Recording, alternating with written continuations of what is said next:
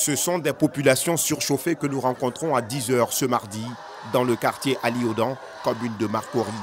Révoltées, elles dénoncent les conditions dans lesquelles s'est tenue nuitamment une opération de contrôle visant à démanteler des réseaux de fraude sur l'eau et l'électricité. Il y a des hommes en armes qui sont rentrés, comme on appelle, au niveau du quartier et ils ont commencé à arrêter, dépenser les portes des populations et les arrêter pour dire qu'ils ont, ont volé l'eau ou bien le courant. Et c'est de manière récurrente. Dans certaines habitations que nous avons visitées, les populations qui reconnaissent ne pas avoir de compteur d'eau ni d'électricité dénoncent une opération barbare. Moi, j'ai dormi. Maintenant, j'ai entendu ouvrir, ouvrir. Maintenant, moi, j'ai eu peur. parce que c'est le volet. Maintenant, il demande c'est qui. Il dit que c'est. Il dit c'est à quoi? Il dit que d'ouvrir, sinon il va rentrer. Donc, ils ont ces portes-là, ils ont rentré. Maintenant, il m'a giflé, giflé. Où est maman? Il dit il n'est pas là, il dort au travail. Matin, je dormais avec mes enfants, mon mari n'est pas là. Dès qu'ils sont rentrés, ils ont faussé, ils sont rentrés. Maintenant, il a commencé à soulever les matelas électriques. Il a dit mon mari n'est pas là, ici seul. Mécontents, les jeunes du quartier s'en sont pris au commissariat, réclamant la libération immédiate de toutes les personnes arrêtées. Tout de suite, des pneus ont été brûlés à certains endroits de l'agglomération, entraînant un affrontement avec les forces de l'ordre. Pour certains riverains, la fraude sur l'eau et l'électricité naît du retard dans l'installation de leurs compteurs. Ils nous ont dit de faire la photocopie des pièces de nos cartes d'identité, de mettre nos numéros de téléphone, plus le numéro du lot. C'est ce que nous avons fait.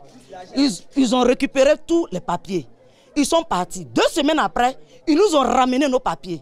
Et moi, je leur ai posé la question. J'ai dit, mais pourquoi vous nous ramenez les papiers? Ils nous disent que non, que les papiers que nous avons donnés, que d'autres ont mis des faux lots. Moi, je leur ai dit qu'ils dit non. C'est pas tout le monde qui a mis des follow. Chez nous ici, tout était légal. À notre grande surprise aujourd'hui, à 4 h du matin, quand ils viennent, qui tapent que tu n'as pas encore ouvert, ils défoncent la porte. Ils ont défoncé la porte et ils sont rentrés. On a déposé nos papiers, on n'a pas eu courant. On est dedans comme cela.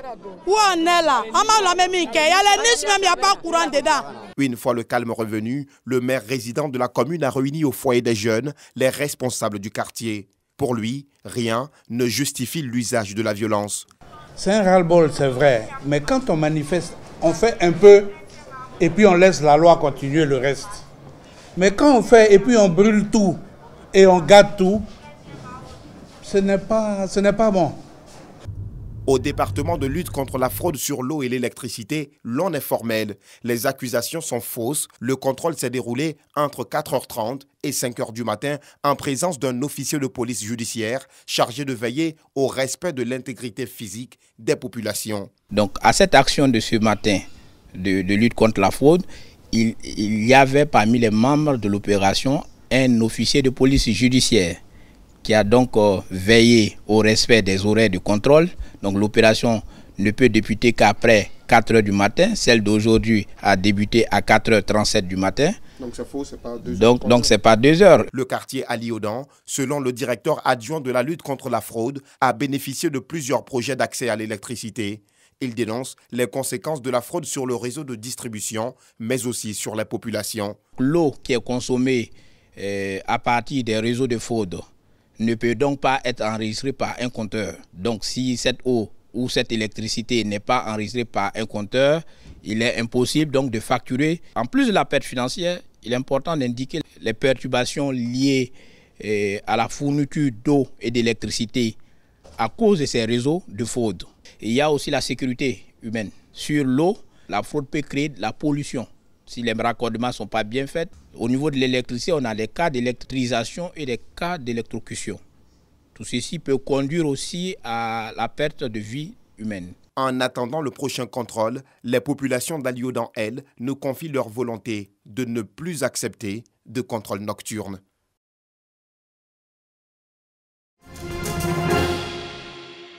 Ces Ivoiriens de la diaspora, mais aussi ces Africains venus de différentes villes de la France et d'autres pays européens dans le rôle de la Maison de la Mutualité. Nous sommes à la rue Saint-Victor, dans le 5e 24, dans le cadre de Bonjour Paris, émission humoristique de la RTI.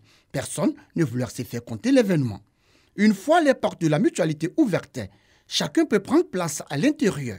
Bien installés, tous attendent impatiemment le début du spectacle. Pendant ce temps, dans les loges, artistes humoristes, chanteurs et comédiens se disent prêts à donner le meilleur d'eux. en vue d'assurer un spectacle féerique au public parisien. Mais c'est ce qu'ils veulent là. On va leur donner ça. Un mensonge qu'ils aiment là. C'est pas pour les enfants. Allez là, on a téléchargé ça 200 gigas. Non loin de la loge des humoristes derrière le rideau, producteurs délégués, animatrices, rédacteurs en chef et partenaires de Bonjour procèdent au dernier réglage. Il faut coûte que coûte réussir cette deuxième édition de Bonjour à Paris. L'humour ivoirien s'exporte et s'installe à Paris. Donc Paris ce soir, c'est la capitale de l'humour ivoirien. C'est un événement qui était très attendu. Jusque-là, ça se passe bien. Et Boss Plus remercie tous les Africains de la diaspora qui ont fait massivement le déplacement. Boss Plus remercie également la RTI. Paris avait besoin de ce genre d'événement. Et voilà, c'est lancé pour la deuxième édition de Bonjour. Et la troisième arrive. Et quand arrive l'heure du spectacle, ce sont des humoristes bien inspirés qui se succèdent sur le podium. Je m'appelle Suleiman. Je suis le gilet jaune de l'amour. Dans sa mission de service public, la RTI joue son rôle et avec l'appui de monsieur l'ambassadeur et des opérateurs culturels locaux, eh bien ce pari-là a été relevé et je pense que ça nous incite à faire davantage et quasiment à donner rendez-vous chaque année ici pour Bonjour Paris. Bonjour Paris, cette initiative de la RTI, soutenue par l'ambassade de Côte d'Ivoire en France et ses partenaires, ainsi que par le co-parrain Ouattara Draman dit Odé. Le rire nous unit, le rire va au-delà de nos clivages et ce fut donc un plaisir et un honneur pour moi d'être ici aujourd'hui, retrouver mes frères de la diaspora pour partager quelques moments de bonheur ensemble. Nous savons que cette émission rassemble et qu'avec l'image de la RTI, nos frères et nos sœurs allaient sortir. Et donc, euh, nous sommes heureux d'avoir organisé avec la RTI cette édition euh, de Bonjour Paris. Ce grand rendez-vous du rire a aussi bénéficié du soutien des membres du gouvernement et de celui du conseil technique du président de la République, Lassina Ouattara, dit l'ASPR. C'est toujours avec un plaisir renouvelé que nous constatons le talent de nos artistes et surtout la grande mobilisation des Ivoiriens donc de France autour de cette activité. Bravo à la RTI. Nous savons que c'est un des premiers spectacles depuis la crise de la pandémie qui permet de réunir en un lieu autant d'Ivoiriens.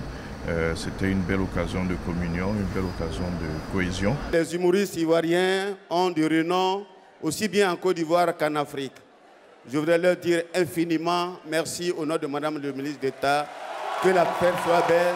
Le public, lui, dit avoir été séduit par les différentes prestations. Il souhaite le retour de Bonjour l'année prochaine. Je tiens à féliciter la Côte d'Ivoire parce que sachez que vous avez des, vraiment des humoristes, des talents. Pour moi, la Côte d'Ivoire, c'est le pays africain qui jack, quoi, comme on dit. Avec tout le stress que nous vivons, c'est une émission qui vient nous égayer. Euh, si cela pouvait se répéter chaque année, ce serait bien. Quoi.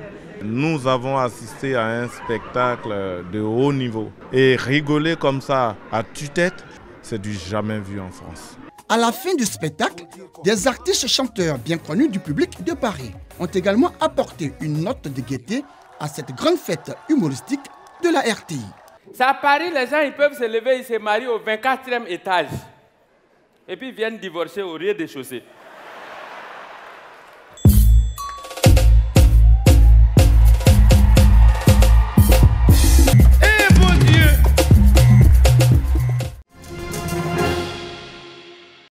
France-Côte d'Ivoire, c'est le troisième match amical qui opposera les deux nations ce vendredi à Marseille. Et pour obéir à la traditionnelle conférence de presse d'avant-match, les différentes équipes se sont prêtées aux questions des journalistes.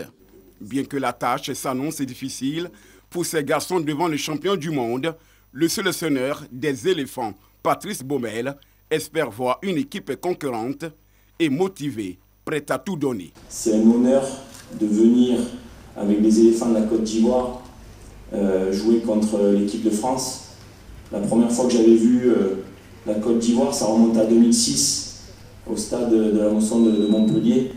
Et j'étais dans les tribunes, j'avais vu ce match. Donc aujourd'hui, euh, être acteur, c'est un honneur et peu importe ce qui va se passer derrière. L'envie, c'est d'avancer, de progresser avec les garçons. Idem pour son capitaine Séjourier. C'est un match qui, nous permettre à nous de, pouvoir progresser sur, beaucoup de choses. Euh, comme, vous l'avez dit, on sort d'une euh, compétition où pour moi, on n'était pas décevant. Je pense qu'on n'a peut-être pas allé au bout, mais on a, tiré beaucoup de, de leçons. Pour Didier Deschamps, le patron des Bleus, la France compte garder son prestige et son statut de grande nation du football. En attendant, de jouer l'Angleterre le mardi 29 mars à Wembley.